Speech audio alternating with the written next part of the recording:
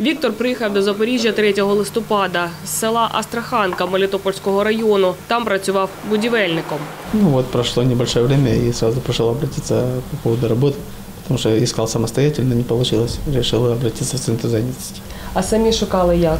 Ну, по объявлениям в OLX и везде такое прочее. Нині кількість вакансій в Запоріжжі та області зменшилась, в той час як попит росте, розповіла директорка обласного центру зайнятості Ірина Дуднік. Якщо на 1 листопада 2021 року навантаження на одну вакансію було 6 осіб, то сьогодні та цифра досягає 24.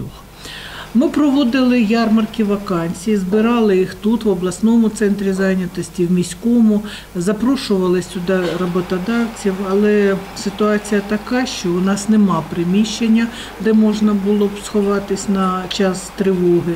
Тому ми перейшли на онлайн ярмарки вакансій. За цей час ми провели майже більше десяти. У Запоріжжі є потреба в робітничих професіях, зокрема на промислових підприємствах. Роботодавці пропонують перепрофілювання або навчання новій професії. Вони самі різні: це токарі, це слюсарі, це газоелектрозварники і таке інше.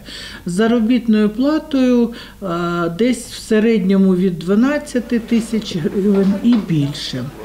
Підприємства легкої промисловості, запорізькі теплові мережі, лікарні, дуже багато є попиту на водіїв і таке інше. За 9 місяців війни по допомогу до Запорізького обласного центру зайнятості звернулись 2,5 тисячі переселенців. Працевлаштувались майже 490 осіб, зазначила Ірина Дуднік. Карина Галунова, Геннадій Коршуненков, Суспільне новини, Запоріжжя.